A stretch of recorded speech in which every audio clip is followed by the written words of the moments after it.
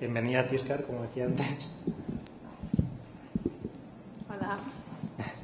Tiscar es la, editora de, de tiscar.com, pero en este caso yo creo que más que por, ser la editora del blog, está invitada como investigadora sobre el tema del blog como medio de comunicación.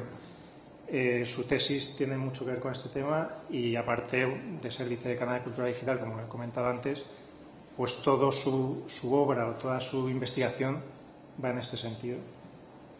Entonces, em, por, empezar con alguna pregunta, eh, ¿cómo, ¿cómo, empiezas tu blog en un momento dado? Hace, hace cuatro años, me parece.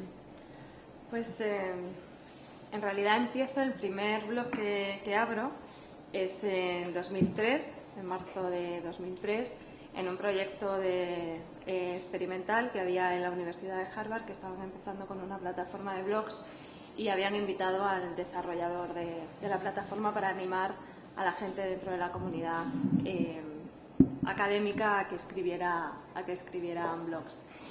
Eh, ese lo abro así de una forma un poco como, eh, más como un experimento. Y a la vuelta, en ese mismo año, empiezo mi tesis eh, doctoral y ya la enfoco por el, por el campo de los blogs y el periodismo. Veo, empiezo a ver que es un, un formato interesante, un formato nuevo, una forma de, de comunicación directa y una forma de construir un público, de relacionarte con él eh, sin pasar por una cabecera, por un medio, por una autoridad eh, más eh, institucionalizada, que es un medio de comunicación clásico. Y para llevar a cabo esa investigación, pues veo que yo tengo que, que ser parte de ello. ¿no? Que Entonces no creas el blog y te conviertes en arte y parte de lo que estás hablando. Sí, es, un, es una meta investigación en cuanto a que yo me lo tomo como un cuaderno de campo también, como una forma de reflexionar, de experimentar, de formular preguntas para luego, eh, para luego poder eh, contrastarlas y, bueno, eh, explorarlas dentro de la comunidad que quiero, que quiero investigar. Es una intuición en ese momento, mm, el sentir que eh, que no puedes llegar a una comunidad y pasar un cuestionario, que no es la forma de, investigación adecuada, que hay que vivir en ella y, ser, ¿no? es un enfoque más, más etnográfico, si, si, cabe.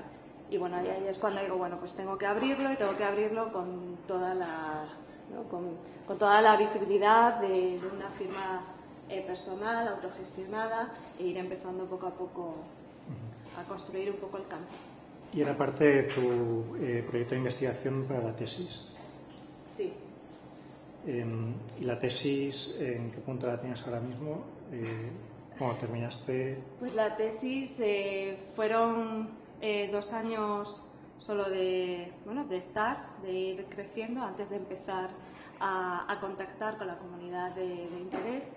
luego hubo un periodo de análisis de blogs cuando completé una muestra de 100 blogs de, bloggers, de periodistas eh, que tenían un blog personal, que será un poco el marco de referencia, y eh, luego ha habido un trabajo de entrevistas eh, en profundidad con, una parte representativa de, esa muestra. El trabajo de análisis cuantitativo, cualitativo, toda, esa, perdón, toda esa parte ya está está escrita y está a falta de, dar el, la última edición, la última revisión del texto. He visto, bueno.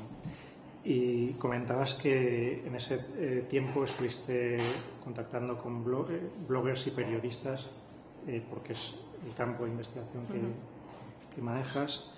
Em, ¿Cómo verías en ese sentido la figura del periodista como editor de blog y mezclado con el, medio de comunicación que, en el que trabaja, um, para, eh, digamos que la revista o el medio de comunicación como empresa y el periodista como, como blogger personal.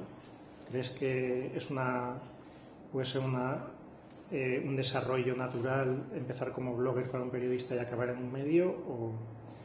Bueno, ha habido casos, ha habido casos donde se ha visto esa evolución, ¿no? que ha sido em, eh, ha sido una manera de construirse un nombre y hay mucha gente en estos años, lo hemos visto, y, gente que se ha eh, posicionado en, sitios más o menos eh, relevantes. es una manera de construir y de tener una, presencia y un currículum vivo, una forma de, decir y demostrar quién eres, cómo escribes, qué te interesa, en qué eres bueno y una manera de entrar en ciertos medios. Pero en aquellos eh, periodistas que ya estaban en medios, eh, era interesante ver cómo manejaban su, identidad, eh, mm, cómo decían a qué medio pertenecían o no pertenecían.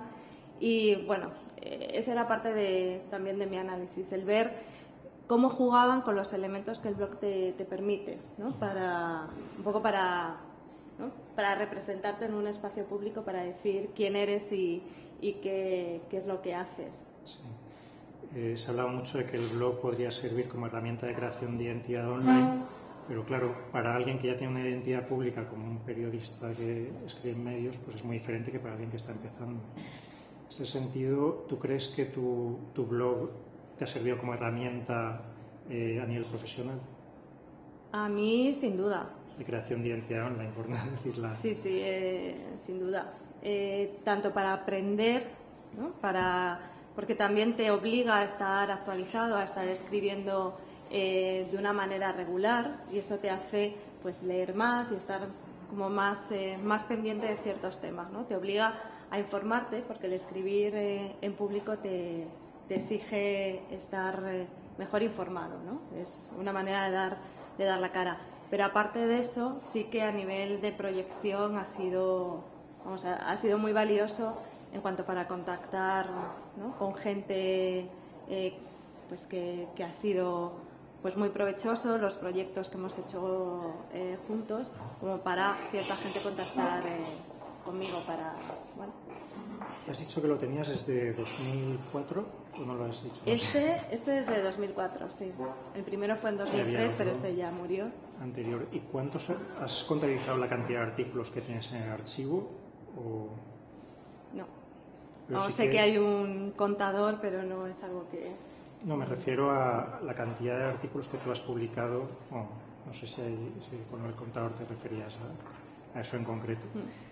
Eh, pero te sirve de archivo personal también. Sí, sí, sí. O sea, para mí, y siempre lo digo, y, en los talleres de, de blogs que, que suelo hacer pues, desde hace muchos años, sobre todo con profesores y con alumnos de, periodismo en una facultad. Eh, siempre les digo que la casilla del buscador, la mayor usuaria de, la casilla del buscador de mi blog soy yo, no, no, los demás, yo soy la que más busco ahí. Porque si, eh, si he escrito sobre algo, sé que lo tengo ahí y que, y que ahí tengo mi histórico. Y, y si quiero recordar algo, intento escribir sobre ello, porque es una manera como de dejar cierto, cierta constancia, cierto pozo. en realidad un blog es una gran base de datos que es fácilmente eh, manejable.